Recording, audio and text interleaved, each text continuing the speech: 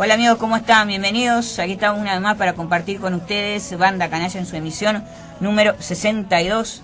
En el día de hoy vamos a tener mucho material para compartir con ustedes, siendo las 13.07 en toda la República de Argentina.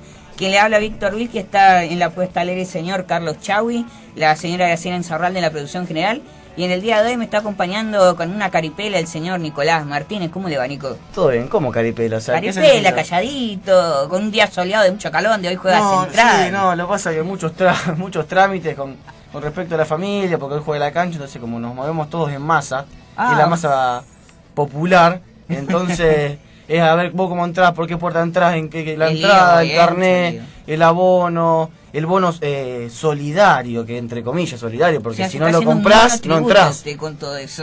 Sí, Impresionante. Sí, que- no, no, tengo- tendría que poner un contador, cosa que maneje todo el trámite, pero bueno, o sea, Tengo para recomendarle que ese Sí, tranquilo. me- lo, lo- que hacen es levantarme los nervios todo. Pero bueno, después de cuando llega la hora de la cancha. de los 11 que van a competir en el día de hoy, que no nos va a hacer Sí. sufrir como con Tucumán. No, espe- espero, esperemos, Esperemos. esperemos. Estamos, tenemos los goles 4 y esta vez nuestro, no en contra. Así es. Está bien, tenemos la previa con Patronato. Vamos a hablar de lo que pasó en Tucumán con los incidentes. Vamos a tener la palabra de Enrique Ochoa, quien representa Central en AFA, en un ratito nada más. Vamos a tener la palabra de Nicolás Monserrat, un hincha de Central que viajó allá y que quiere contar todo lo que pasó. En exclusiva para Banda Ganancia también en instante. Pero antes, como siempre hacemos, recordamos las vías de comunicación, Nico. Así es. 0341-55-80945. Ese 0341 es para la gente que quiera llamar desde afuera de la ciudad de Rosario. También nos pueden mandar mensajes a través del 156 11 94 27 o si no 155 00 45 14 y el último 156 29 41 14. Pero también eh, si querés dejar un mensajito lo puedes hacer en la computadora, ¿sí? El Facebook nuestro es www.facebook.com barra bandacanalla, recuerden que es con Y, y la web eh, www.bandacanalla.com.ar. Hay mucha gente que ya está viendo el programa por internet. ¿eh? Le invito a que se fije en nuestra página de Banda Canalla de la Oficial, donde está todo actualizado. Usted puede entrar, ver y escuchar, porque estamos hasta las dos y media de la tarde. Y leer también. Y leer también, por supuesto, las Nicolumnas de toda la semana. Me gustaría que le ponga un me gusta en su cuenta, así lo comparte con toda la gente, ¿sí? Porque es muy buena la columna de Nicolás Martínez. Y muy bueno también lo que vamos a presenciar ahora, porque Nicolás va a estar analizando todo el Rosario Central, sin antes decirle que nos vamos a presentar en sociedad, obviamente con los auspiciantes que hacen posible el programa, compartimos los goles y arrancamos Banda Canalla. Banda Canalla. Espacio publicitario.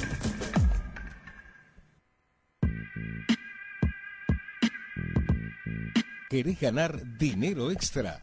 Consultame 156 247 751 MGM Lencería. Mínima inversión. Llama ya, no te lo pierdas. 156 24 77 51.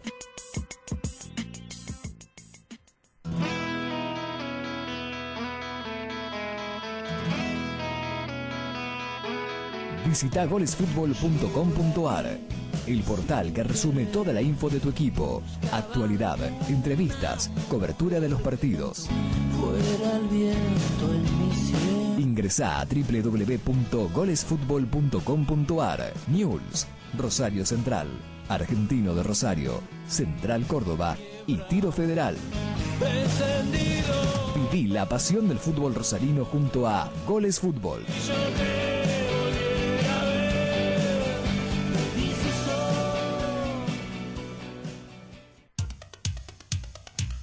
Contratista Rural Alberto y Pablo Rucci.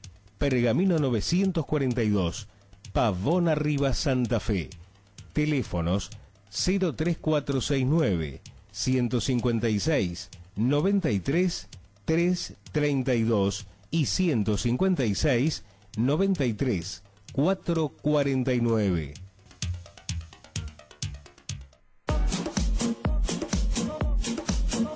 La Feria del Pollo, Pollería, Almacén y Carnicería, desde 1991.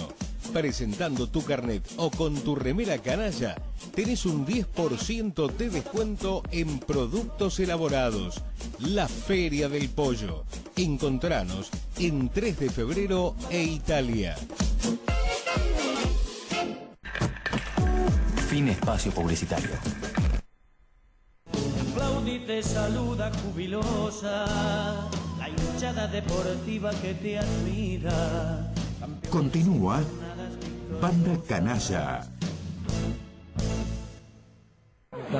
Castigliones llega al área, llega también Pepino para buscar, está Vareiro, señores, está Barone también en el área, acomoda la pelota Méndez, viene Delgado también, Medina se queda para el rebote, atención, va Méndez, a ver, seis, siete hombres en el área para defender, le pegaba Méndez, le queda rebote otra vez a central, señores, a ver, llega al centro al área, llegaba Pepino, sí, sí, lo tiene Lago, sí, lo tiene Lago, se enganchó Lago, Lago,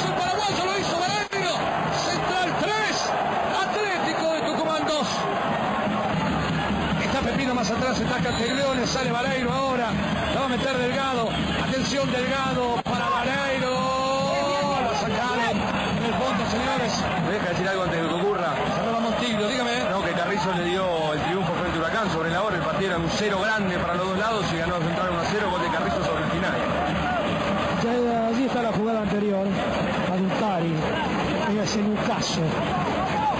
Encina, Freitas en el área. Viene Vareiro, atención señores. Busca central por arriba, estamos 3 a 3. Va el paraguayo en el segundo palo, centra el primer palo, le queda el Loncho Ferrari. Otra vez la quiere Encina. Va Encina, enganchó para adentro, pasó Encina, lindo centro. Le queda la pelota central. Viene centro al área, otra vez solito Pepino.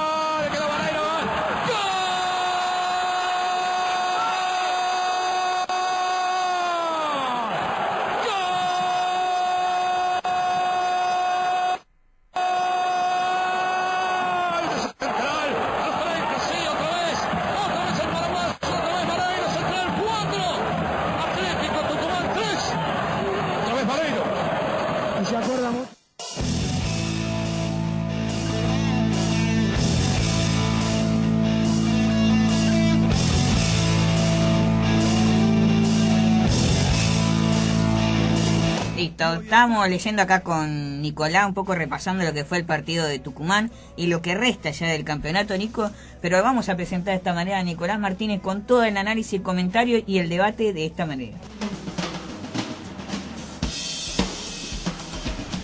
Qué partido de Tucumán, los nervios a flor de piel, ¿no? Ya a los tres minutos ya estábamos gritando y la garganta eh, bien roja así de gritar el primer gol de Lagos. Tres minutos, primer gol de Central, un centro la verdad que medio perdido en el área en el que Lagos pudo concretar, amagó, eh, enganchó y de zurda metió un zapatazo que nada para hacer por el arquero Luchetti que era, la clavó el ángulo la verdad, o sea, la verdad que un gol eh, digno de aplaudir a lo que hizo Diego Lagos en, en- en los primeros tres minutos de juego. Dos cositas para destacar de Dale. él. A los tres minutos, igual que con Chicago. Así es. El segundo, el gol igual a Rivarola Año en la Sudamericana. Sí. Ahí está. ¿Viste? parecido. ¿Viste? Parecido. Ahí está, bien, siga. Se- con- continuamos entonces. Central en ventaja, ¿sí? 1 a 0. Iba a, a- a poder agrandar el marcador, ¿sí? Nuevamente a través eh, de, de Vareiro. Si no me equivoco, creo que el segundo lo hizo Sí, Vareiro. Vareiro. El segundo lo hizo Vareiro. Lo que hizo el paraguayo en el partido en, en Tucumán, en la capital, en el Jardín de la República, yo creo que fue un partido en el que eh, eh, Vareiro pudo demostrar por qué está en Rosario Central. Un partido eh, en el que pudo demostrar todas sus cualidades futbolísticas. Eh, lo vi rápido a la hora de tomar decisiones, tanto mentalmente, y a la hora de cómo responden sus piernas a lo exigido por la cabeza picante en la, en- la última línea, se mostraba tanto por izquierda como por derecha, desbordaba, pelotazo que iba, pelotazo que chocaba él con, con Barone, ese frontón que tiene Atlético El Tucumán. Verón. Sí, el Verón de la B Nacional. Ese frontón que tiene en la última línea el conjunto tucumano, ¿sí? Lo que quiero comentar y criticar en forma negativa lo que realizó Central en el, en el partido con Atlético de Tucumán, no, no me voy a meter tanto en los goles, o sea, no voy a, de- a dar un comentario a describir lo sucedido en cada eh, gol, tanto de Atlético como de, como de Central. Pero sí quiero, eh, como dice Miguel Ángel Russo, eh, dar un comentario a la victoria, poder ana- analizar esa victoria. ¿Y en qué se va a enfocar precisamente? Me quiero enfocar en Carlos Castiglione y lo que realizó Gastón Pesuti en el, en el partido con Atlético de Tucumán. Atlético se puso, eh, pudo conseguir ¿sí? un tanto, gracias a la Pulga Rodríguez con pasado en Newell's Boys. Pero si hay penal, quiere decir que hay una falta cometida. Y la falta cometida fue una falta muy infantil, innecesaria, que realizó Carlos Castiglione. Siendo un experimentado. Muchos años tiene Carlos Castiglione. Muchos equipos re- recorrió el defensor. Volvía después de mucho tiempo ¿sí? a compartir saga central eh, en la defensa. Este, en este caso con Franco Pepino. Y le tocó cometer este error infantil. Penal para Atlético. ¿sí?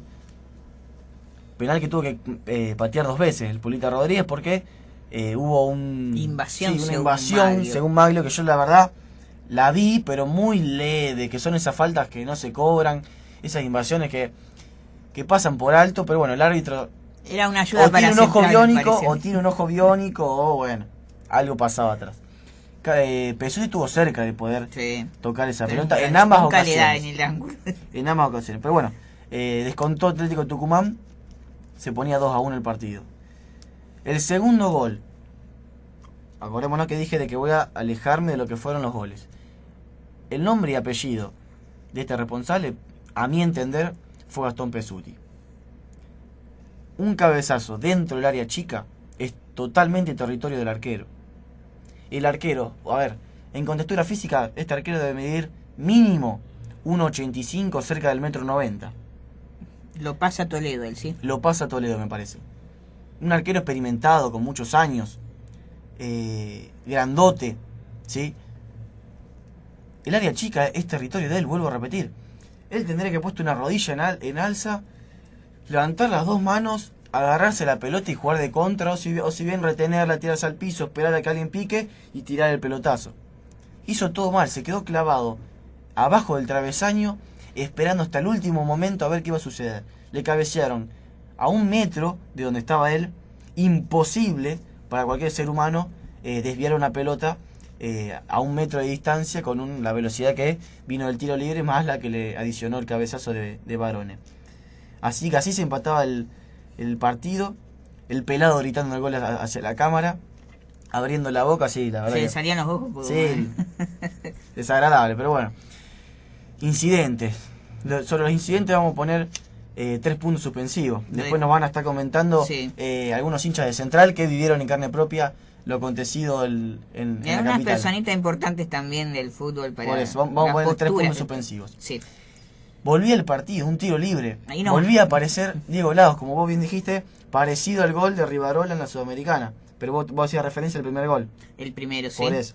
Pero este fue de cabeza y en el segundo y entrando eh, a, la, a la corrida. Así que así Central se ponía en ventaja nuevamente. Creo que es rápida de reacción. Rápida, ¿eh? rápida, rápida es el- la reacción, así es. Así que volvía a ponerse en ventaja. Empat- eh, empataba nuevamente. Y el ida y vuelta. Tucumán. Era ida y vuelta, o sea, un partido atrapante que los comentaristas del Fútbol para Todos decían de que eh, el que no era hincha central o el que no era hincha del conjunto tucumano era un partidazo. Pero bueno, tanto nosotros como los tucumanos seguramente teníamos los nervios en la garganta. Eran, no sé, dos amígdalas que iban a punto de estallar, ¿o no? Así que Y ahí finalizaba el primer tiempo. Ahí finalizaba el primer tiempo. eh, la verdad, un primer tiempo picante que hace mucho que no veía. En el segundo, ¿sí? Segundo tiempo. Vuelvo a destacar la figura de Vareiro. Intratable el delantero durante todo el partido. Muy criticado por los hinchas de Central antes de debutar en Central. Porque trajeron tenía- un paquete y yo dije, Porque el "No, hincha de Central, esperen, el hincha de esperen". Central se acordaba de la mala imagen que realizó en el último tiempo en Olimpo y además el que puede seguir un poco más eh, de cerca al jugador, el que conoce un poco de fútbol paraguayo, no estaba en su mejor nivel eh, Néstor Vareiro. Así que eh, esa era la imagen que es eh, los hinchas se traían o que dejaba Vareiro antes de venir a Central.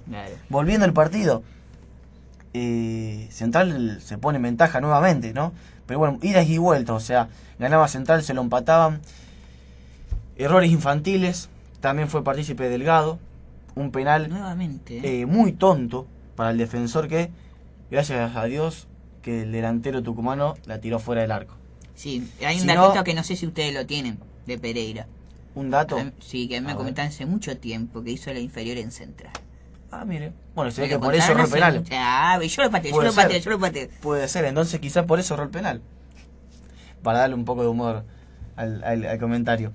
Pero eh, yo creo que si ese, ese penal era convalidado en gol, eh, Central no se hubiera traído los tres puntos para Rosario. A lo sumo en el empate. Así se es. podía buscar. A lo sumo un empate. Apareció Vareiro, un cabezazo de Pepino. Quizás, mira, Pepino casi convierte nuevamente con la camiseta de Central. ¿Sí? Sí. Y cabeceó muy bien, quedó solo, pegó el latigazo con la cabeza y bueno, el, el arquero Luchetti provocó eh, un rebote dejando a Vareiro para que con el arco de frente venga, la empuje y para que Central convierta cuatro goles en un partido, algo que no hizo a lo largo de todo el torneo. Cuando eh, le pega, le rebota en realidad a Luchetti, ¿quién era? ¿Carrizo o Medina? En el, en el cuarto gol, En el cuarto gol, que después viene Vareiro y la empuja. no, el que cabeció, No, no, sí, una cabecera Pepino. cabeció Cae, Pepino. había dos adelante.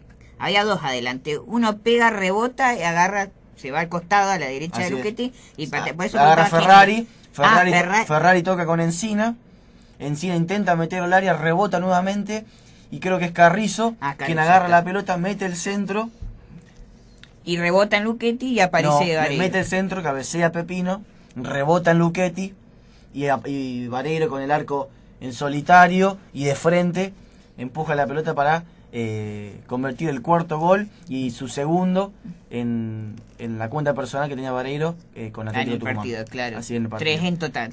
Así que cuatro goles, tres para Atlético Tucumán, un partido muy sufrido. Eh, en líneas generales, eh, la defensa la vi bastante flojita. Sí, faltaba gente. Eh, no se tomaban marcas. Un dato importante en lo que fue ese partido, tanto para Atlético Tucumán como para Central. No, nadie agarraba alguna marca. No. ¿sí? Los goles se eh, se- eran convalidados por ese motivo. El arbitraje, ¿cómo estuvo? Lo vi bastante bien a, a Maglio. Creo que tomó eh, decisiones correctas, tanto como tenía que molestar a, a tanto a un jugador de Central como a un jugador de Atlético Tucumán.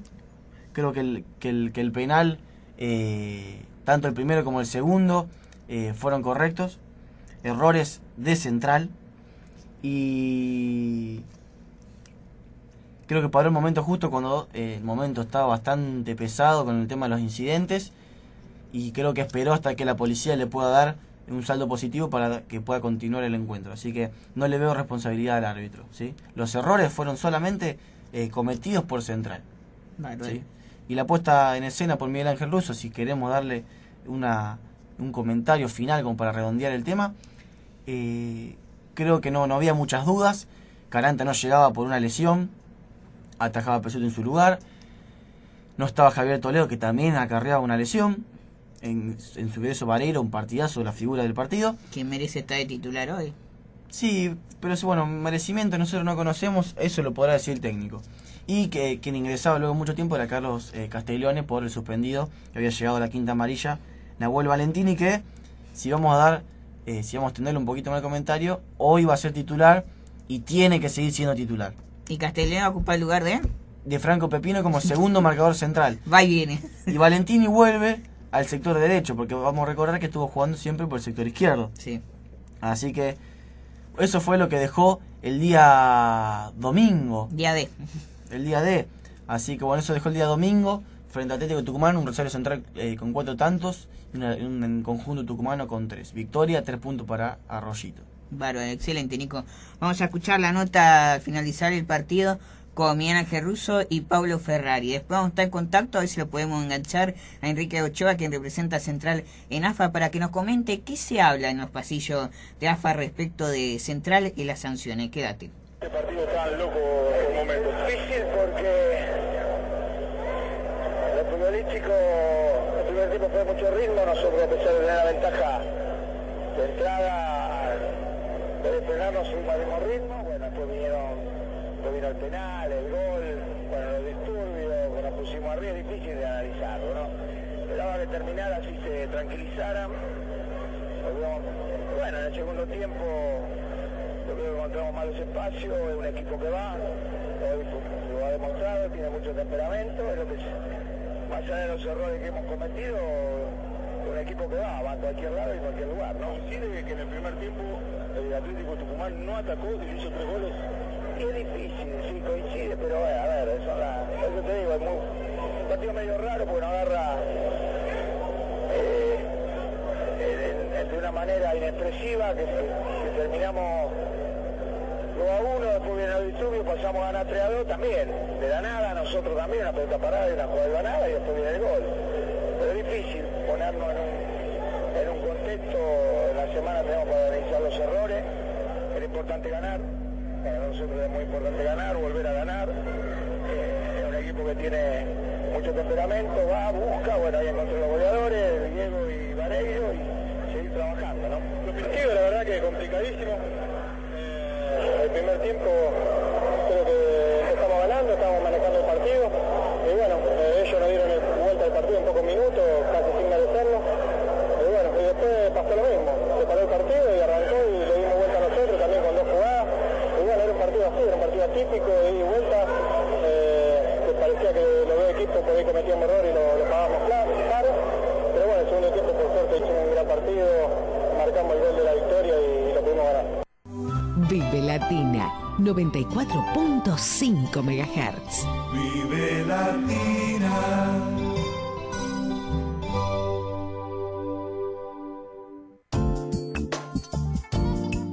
Nuestra página web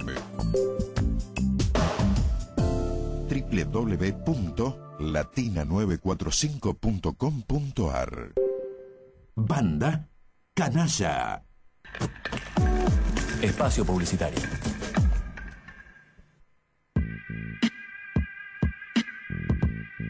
¿Querés ganar dinero extra? Consultame.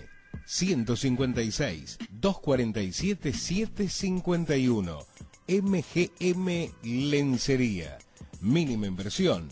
Llama ya, no te lo pierdas. 156 24 77 51.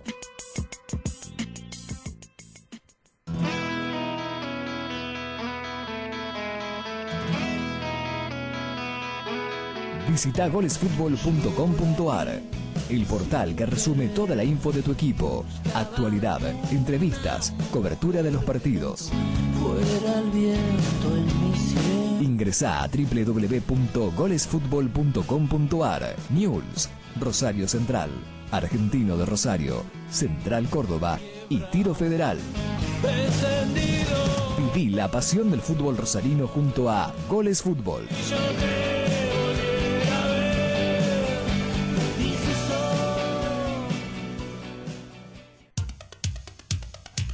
Contratista Rural Alberto y Pablo Rucci. Pergamino 942, Pavón Arriba Santa Fe. Teléfonos 03469 156 93 332 y 156 93 449.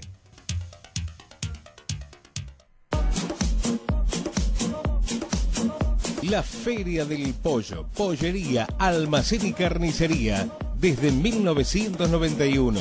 Presentando tu carnet o con tu remera canalla, tenés un 10% de descuento en productos elaborados. La Feria del Pollo. Encontranos en 3 de febrero e Italia. Fin espacio publicitario. Una radio con personalidad y voces dedicadas para que vos entiendas lo que pasa. Vive Latina. FM Latina, radio de música y noticias. Claudia te saluda jubilosa, la hinchada deportiva que te admira. Continúa